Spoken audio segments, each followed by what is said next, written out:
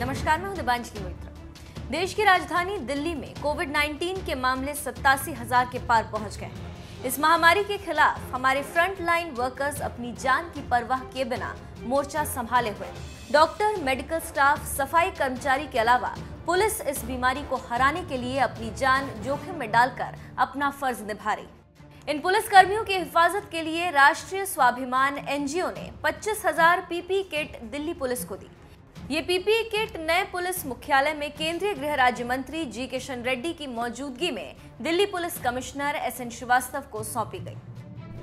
Police सिर्फ़ land order के नहीं है। पुलिस सिर्फ़ बंदोबस्त के लिए काम नहीं करेंगे।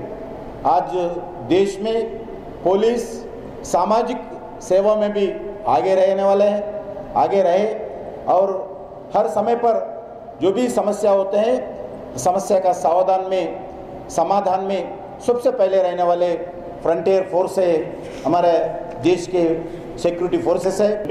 दिल्ली पुलिस को कई सारे संगठन, संगठनों से हमें सहायता भी मिलती रही।